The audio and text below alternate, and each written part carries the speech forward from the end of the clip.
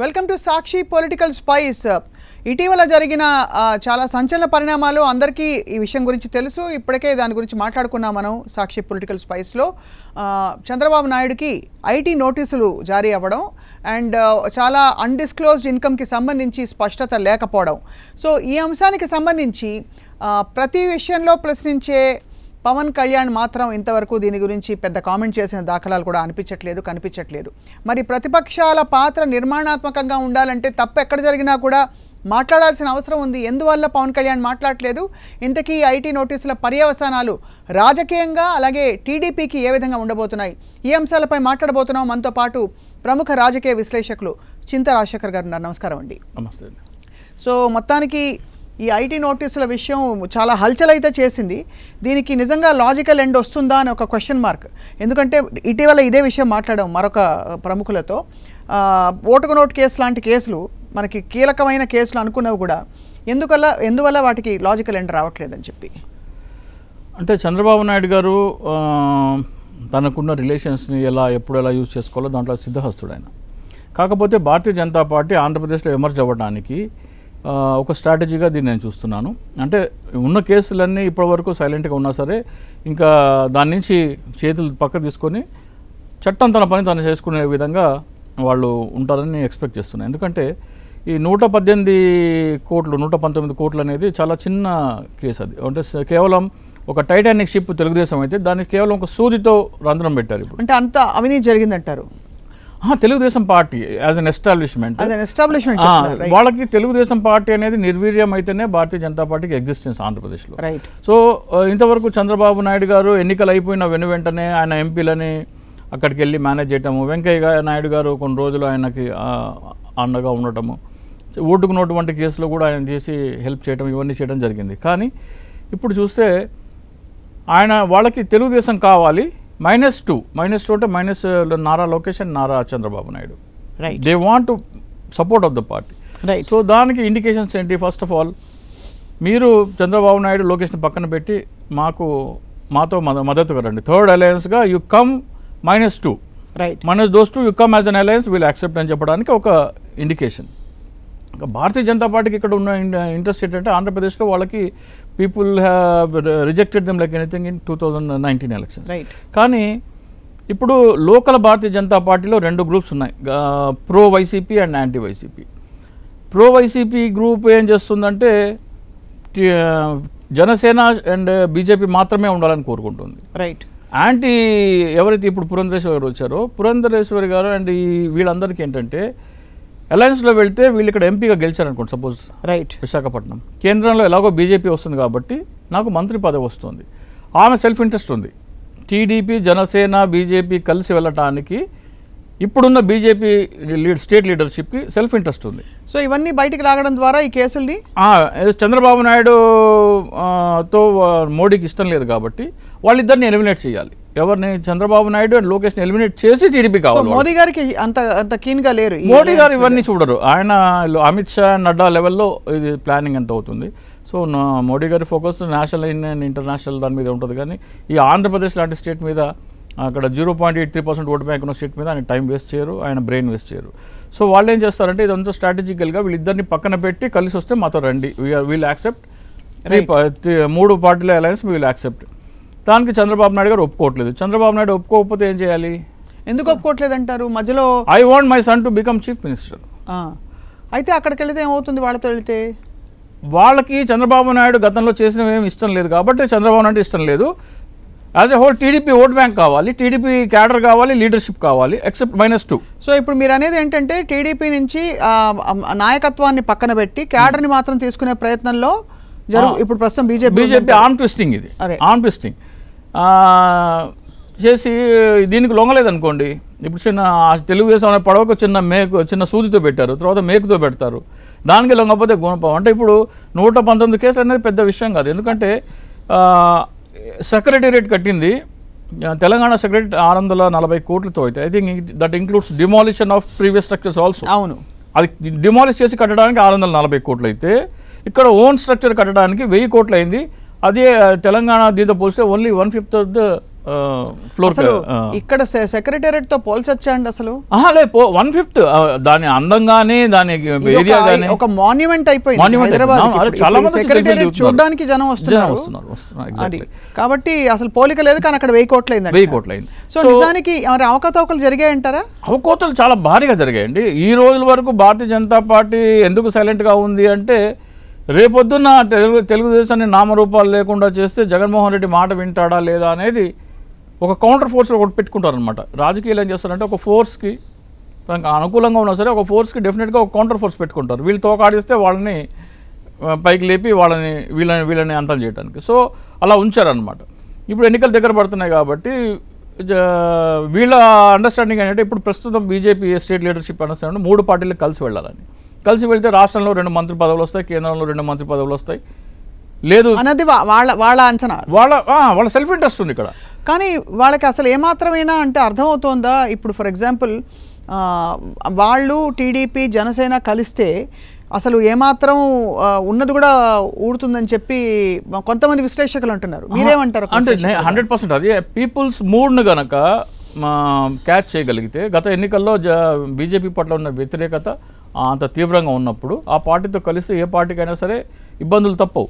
కానీ ఇక్కడ జగన్మోహన్ రెడ్డి గారు కూడా బీజేపీ ఎందుకు అంత అన్యాయం చేసింది అనే విషయం మాట్లాడలేదు. జగన్మోహన్ రెడ్డి మాట్లాడలేదు జనసేన మాట్లాడలేదు చంద్రబాబు నాయుడు మాట్లాడలేదు. అన్నిటికంటే ఆశ్చర్యకరమైన విషయం ఏంటంటే బీజేపీకి వ్యతిరేకంగా ఇండియా అనే కూటమి ఏర్పాటు చేసిన కాంగ్రెస్ పార్టీ కమ్యూనిస్ట్ పార్టీలో రాష్ట్ర శాఖలు. అంటే ఏపీ ఆంధ్రప్రదేశ్ కాంగ్రెస్ కానీ ఆంధ్రప్రదేశ్ కమ్యూ సిపిఐ సిపిఎం కానీ ఏ పార్టీలు కూడా భారతీయ జనతా పార్టీ చేసిన ద్రోహం ఏంటి? ఆంధ్రప్రదేశ్కి ఆంధ్ర ప్రత్యేక హోదా చేయవలన కలిగిన నష్టం ఏంటి అనేది ఈ మూడు పార్టీలు స్టేట్ లీడర్షిప్ మాట్లాడలేదు అవును. ఇది చాలా షాకింగ్ ఇది. అసలు how can they be social and అక్కడ రాహుల్ గాంధీ సిపిఐ సిపిఎం మమతా బెనర్జీ వీళ్ళందరూ కలిసి పోరాడుతూ ఉంటుంటే కాంగ్రెస్ పార్టీ ఆ ఊసు కూడా ఎత్తట్లేదు. ఒక కార్యాచరణ అంటే ప్రకటన ఒకటే ఇస్తున్నారు. మేము అధికారంలోకి వస్తే మేము మొదటి సంతకం దీని పెడతాము అని. కానీ క్షేత్రస్థాయిలో ప్రజలని ఎన్లైటన్ చేయడానికి కానీ చైతన్యపరచడానికి కానీ ఎటువంటి కార్యక్రమాలు చేయట్లేదు. రైట్ సో దీన్ని బట్టి చూస్తే కాంగ్రెస్ సిపిఐ సిపిఎం కూడా చంద్రబాబు నాయుడు స్టేట్ యూనిట్స్ చెప్తున్నాను. చంద్రబాబు నాయుడు కనుసైన విశాఖ మేరకే నడుస్తున్నాయి. ఇవన్నీ గమనించిన భారతీయ జనతా పార్టీ ఏంటంటే చంద్రబాబు నాయుడు అపోజిషన్ మొత్తానికి లీడర్లో ఉన్నాడు ఆంధ్రప్రదేశ్కి. They want to remove him from and make who the face they will X Y Z అంటే జూనియర్ ఎన్టీఆర్ని తీసుకురావచ్చు. ఆల్రెడీ అమిత్ షా గారు గతంలో ఒక రెండుసార్లు కలవడం జరిగింది. లేకపోతే అంతర్గతంగా ఏమైనా సరే జూనియర్ ఎన్టీఆర్కి ఎప్పుడు కూడా రాజకీయాల మీద మొగ్గున్నట్టు ఆయన ఎప్పుడు ఆ ఇండికేషన్ ఇవ్వలేదు. మంచి షైనింగ్లో ఒక రైజింగ్లో మన ఆస్కర్స్కి వెళ్ళొచ్చి అంత సమయం కేటాయించి వాళ్ళు చేస్తారా? రెండోది ఇద్దరు స్టార్లను మేనేజ్ చేయడం. ఓవైపు ఒక ప- పవర్ స్టార్ని మేనేజ్ చేయడం ఇంకోవైపు ఇలాగా మనకి ఈ యంగ్ టైగర్ని మేనేజ్ చేయడం ఎలా కుదురుతుంది? పవర్ స్టార్ అనేది ఇప్పుడు చంద్రబాబు నాయుడు గనక టీడీపీ జన బీజేపీ అలయన్స్ డెబ్బై ఐదు సీట్లు ఏదో ఇచ్చారని చెప్పి ఒక వార్త నడుస్తుంది. డెబ్బై ఐదు సీట్లు ఆఫర్ చేశారు assembly and twelve MP seats offer చేశారని నడుస్తుంది. అంటే అక్కడ చంద్రబాబు నాయుడు ఎంత డెస్పరేటో చూపిస్తున్నారు అక్కడ. ఒకవేళ చంద్రబాబు నాయుడుకి బీజేపీకి మధ్యలో సైడ్ కుదిరితే ఇంక్లూడింగ్ చంద్రబాబు నాయుడు పవన్ కళ్యాణ్ అక్కడ అసలు వాళ్ళిద్దరి మధ్యలో అవసరమే లేదు. చాలా రోజుల నుంచి నేను ఒక విషయం చెప్తున్నాను. పవన్ కళ్యాణ్ ఏమనుకుంటున్నానంటే తనకు తాను నేను బీజేపీని టీడీపీ కలపగల మధ్యవర్తిని అది నా వల్ల మాత్రమే వాళ్ళకి వాళ్ళు వాళ్ళ వాళ్ళ పాత పరిచయాలు ఉన్నాయి ఇన్ఫాక్ట్ వాళ్ళకి. అదే వెంకయ్య నాయుడు గారు ఉండగా నువ్వెందుకు? అది. వెంకయ్య నాయుడు బీజేపీలో స్టాల్వర్ట్. సుజనా చౌదరి గారు ఉన్నారు ఇంకా చాలా మంది ఉన్నారు కదా అంటే స్టాల్వర్ట్లు అంటే అనేది అంటే ఈ- ఈ మంతనాలు జరపడానికి ఉన్నారు కదా ఉన్నారు.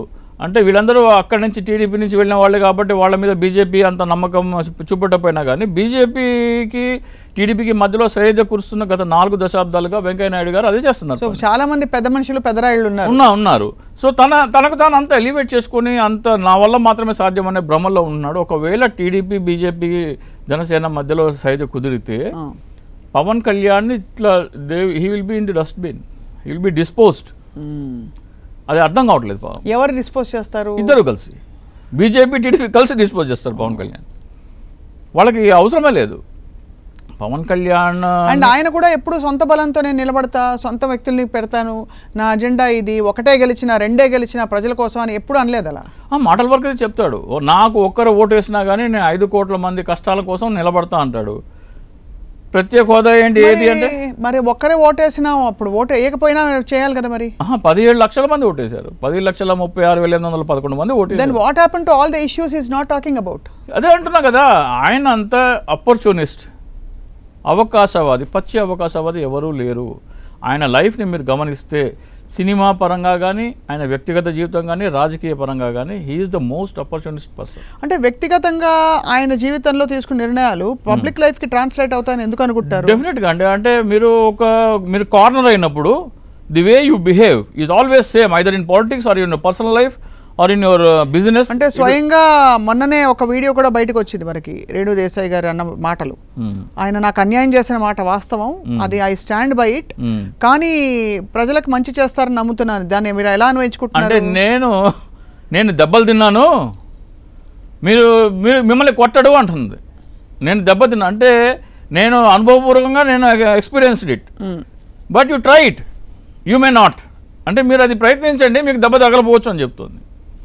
సో అదే ఎనీవే అంటే వారి అభిప్రాయం ఎంతవరకు అది అది ఎఫెక్ట్ అవుతుంది ఇంపాక్ట్ చేస్తున్నారు పక్కన పెడితే మీరు అన్నట్టు ఇప్పుడైతే వ్యక్తిగత జీవితంలోనూ అట్ ద సేమ్ టైం పొలిటికల్గా కూడా ఒక కన్సిస్టెన్సీ అయితే లేదు కన్సిస్టెన్సీ నాట్ మూవీస్లో కూడా లేదు. మూవీస్లో మరి ఈ ఎన్నికల తర్వాత ఆయనకు వరుస ఫ్లాప్లు వస్తున్నా కానీ ఎందుకంత ఆఫర్లు వస్తున్నాయి అనేది కూడా ఆ ఆలోచించాల్సి నిర్మాతలు ఎందుకు పెట్టి పెట్టుబడి పెడుతున్నారు అది చెప్తున్నాను కదా ఇప్పుడు వరుసగా రెండు మూడు సినిమాలు ఫ్లాప్ వచ్చిన తర్వాత వేరే వేరే వాళ్ళందరూ అయితే వాళ్ళకి ఇలా వెళ్ళిపోతారు వెనక్కి. ఈయనకి ఎంత మెగా బ్యాకింగ్ ఉన్నా కానీ ఆయన మరి అన్ని ఫ్లాపుల తర్వాత ఈ రోజు వరకు ఆయన రెమ్యునేషన్ పెరుగుతూనే పోతుందంటే టూ థౌజండ్ నైన్టీన్ తర్వాత especially we have to think అది మనీ లాండరింగా లేకపోతే వేరే విధంగా వచ్చిన డబ్బుని ఇప్పుడు కన్వర్ట్ చేసుకుంటున్నారు.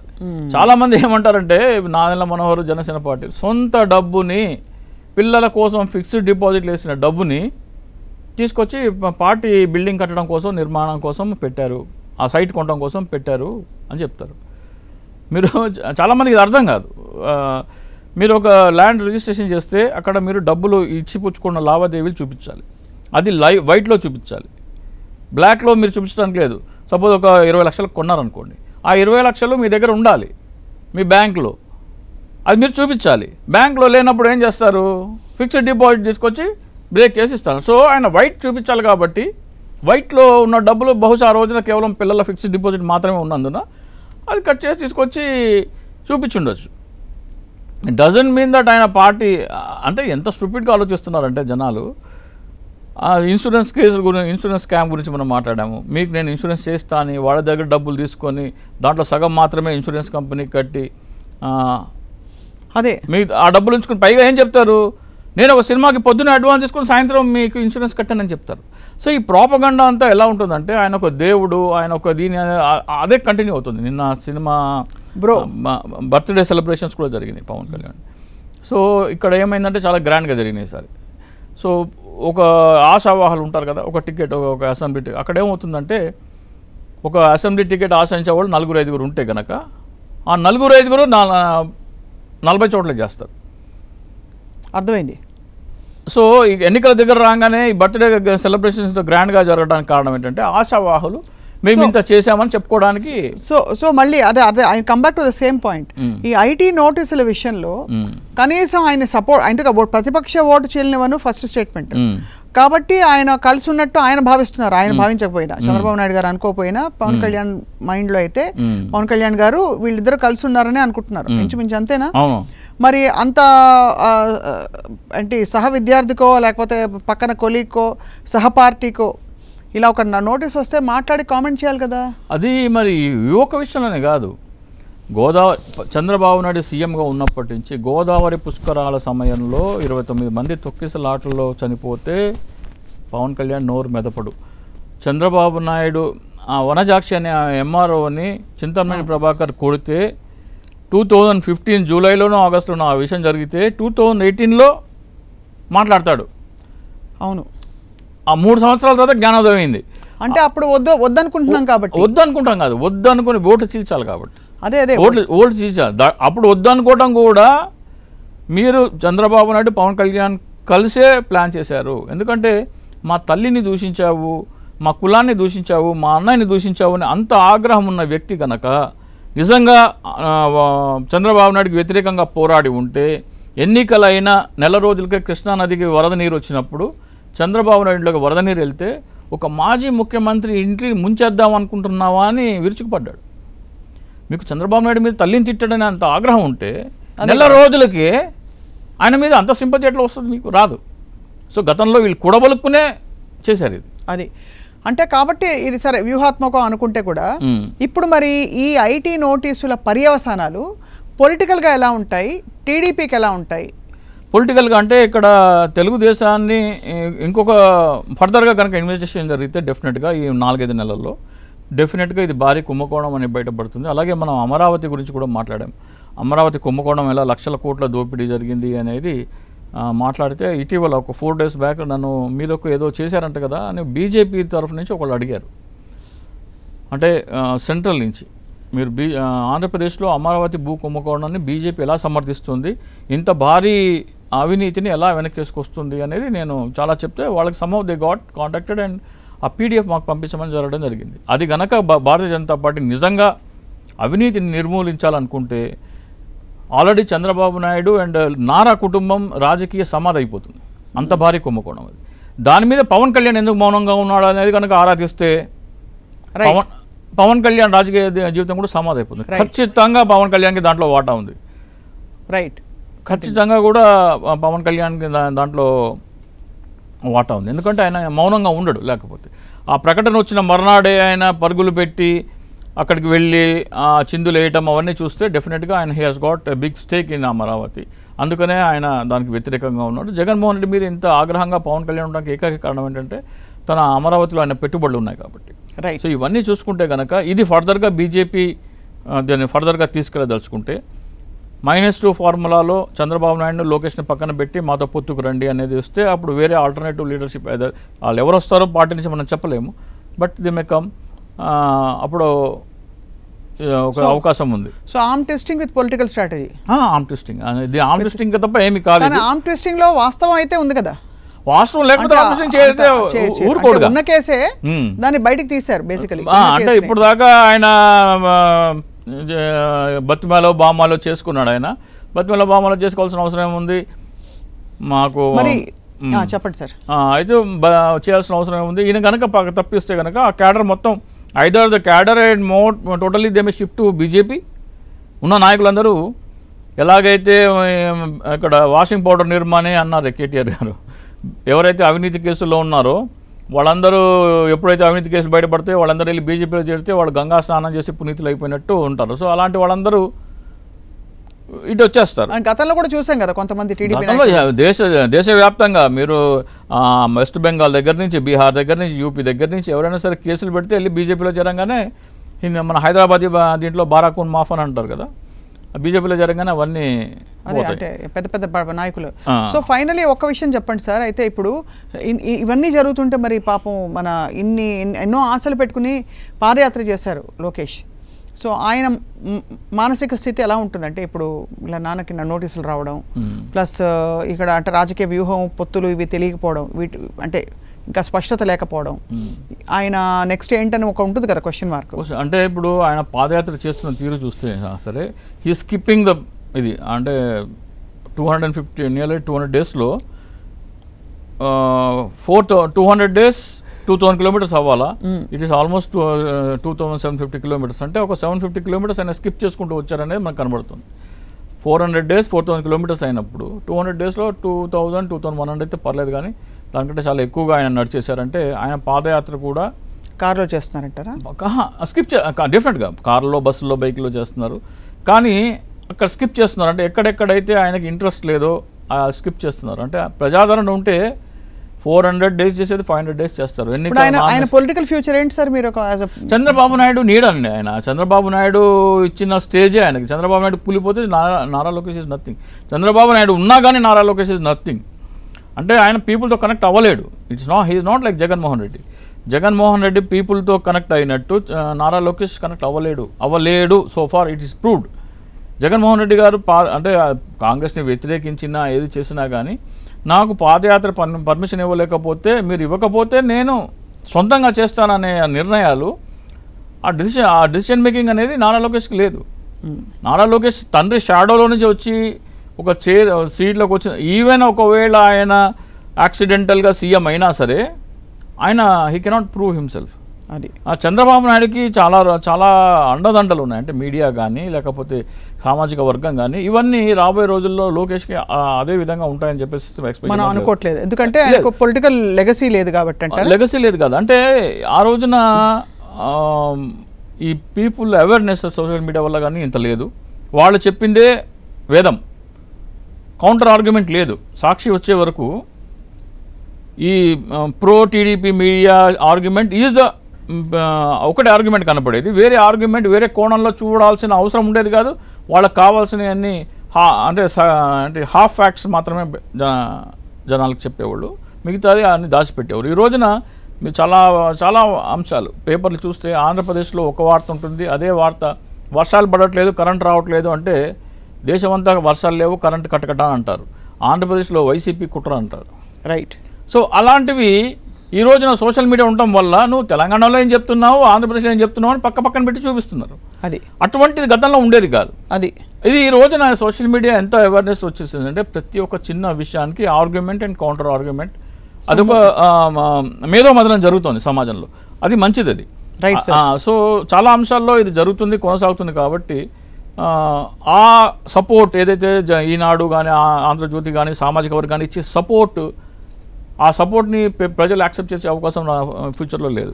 మొత్తానికి అయితే ఈ విషయంలో మాత్రం అంటే పాపం ఇచ్చింది కేంద్ర ప్రభుత్వ చట్ట సంస్థలు కాబట్టి. చట్ట సంస్థలు అంటే ఎంత స్వయం ప్రతిపత్తితో లేకపోతే పూర్తిగా వాళ్ళు ఇండిపెండెంట్గా వ్యవహరిస్తారు అనుకున్నా కూడా ఐటీ నోటీసులు రావడం కేంద్ర ప్రభుత్వ పరిధిలోకి వస్తుంది కాబట్టి అటు పవన్ కళ్యాణ్ గారు అటు ఏమనలేరు. వాళ్ళతో ఆల్రెడీ దోస్తీ ఉంది కాబట్టి.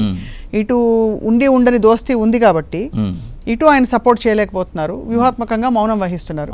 బట్ వేచి చూద్దాం చింత రాజశేఖర్ గారు దీని పర్యవసానాలు ఏ విధంగా అంటే పొలిటికల్గా మేనిఫెస్ట్ అవుతాయా? రాబోయే రోజుల్లో మరి ఎలక్షన్స్ గురించి కూడా జమిలీ ఎలక్షన్స్ అంటున్నారు కాబట్టి అది ఎంతవరకు అది అందులో వాస్తవం ఉంది ఏమిటి తెలియదు will wait and watch. Thank you very much sir నమస్కారం.